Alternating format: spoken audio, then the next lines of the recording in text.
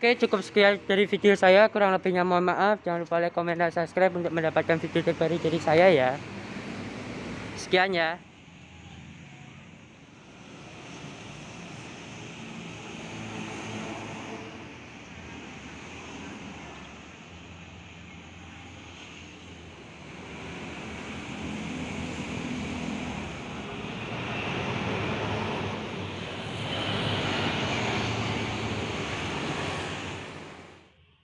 Kali ini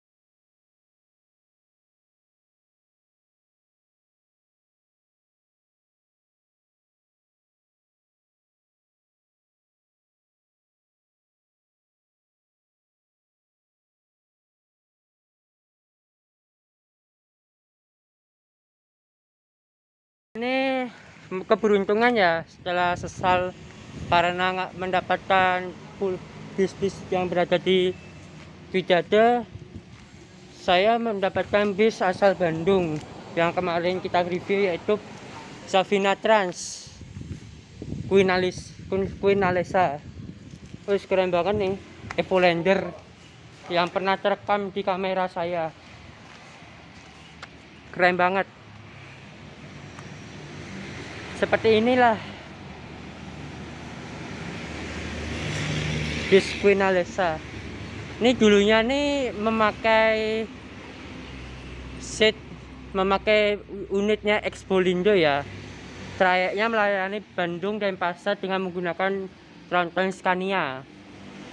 Kelasnya support eksekutif 22 ya seperti inilah eksteriornya. Nanti kita naik ke belakang dulu ya. Itu ada kucing ini ya interiornya eksteriornya ya. Velgnya menggunakan Alpo eh, Scania ini ya filter udaranya. DRN ini ya gambar macan. Seperti di aing macan. Ya when I do what they don't do I get what they don't get. Ntar saya terjemahin ya di deskripsi ya. Kalau terjemahin langsung bosen no nah ini ya. X Bolindo ya. Ada keren banget. Saking kerennya saya lihat di sini terkagum-kagum. Setelah sekian lama. Boleh no Ya, om saya mau tanya om. Ya. harga tiket dari Denpasar ke Bandung berapa? Buat kapan? nggak tanya aja. Kalau untuk sekarang masih 480. untuk kelas eksekutif ya? Ya.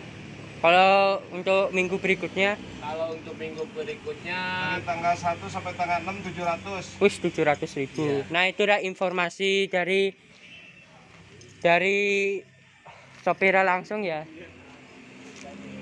Nah kita ke atas dulu.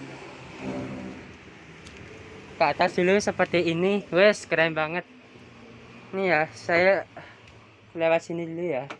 Wes ini Scania nih Opti Cruise. Ah. Wih, apa nih? Ini Opti Cruise.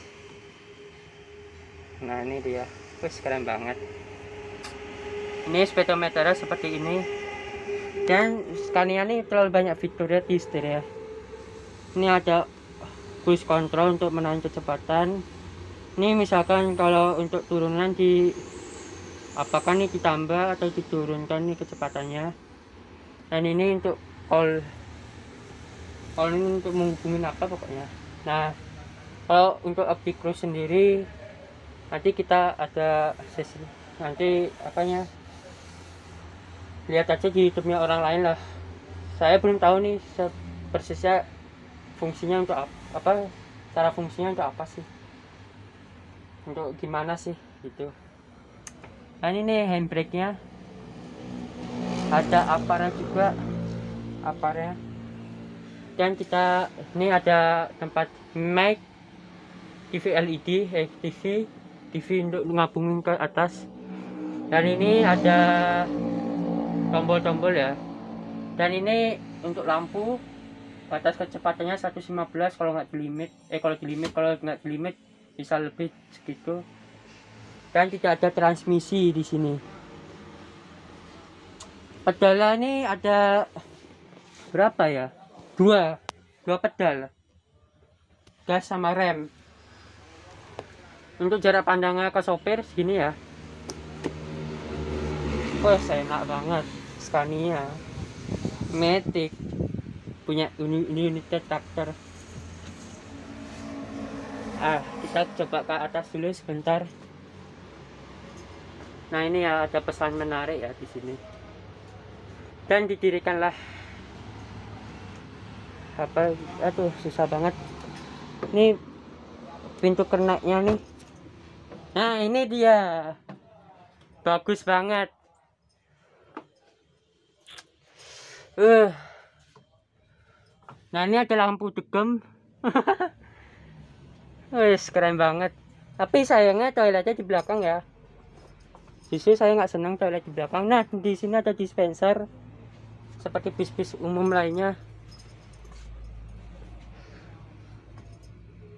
Dan ini ada smoking areanya ada toilet. Tapi toiletnya sempit kok makanya ternyata nggak bisa dibuka. Nah ke depan aja.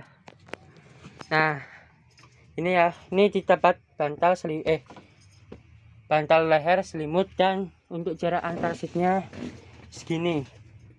Cukup nyaman. Bangku buat rimba kencana dan jarak antar seatnya segini. Misalkan kalau ditambah segini wes nyaman. Nikmat apa yang kau dustakan? Lover AC nya seperti ini.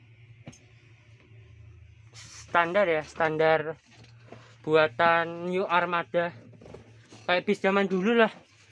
Dan ada terdapat colokan nah ini dia baca nih yang bagi yang apanya ngecas power bank. Nah ini dia. Wes. Wah enak banget loh. Tapi sayangnya untuk untuk pandangan ke depan di Scotland kayak gini. Nah ini mata saya pandangan ke depan seperti ini sangat gimana ya menurut saya. Mungkin kalau secara langsung mungkin emang gelap. Tapi kalau di kamera kamera kan mempunyai filter apa tuh pokoknya kalau saya baca tuh. Itu pokoknya bisa nerangin lah. Makanya saya sebenarnya kurang suka bus bertopi sih menurut saya. Soalnya ya gini. Nah ini ya colokan nggak boleh menggunakan powerbank jam dah ini ya interiornya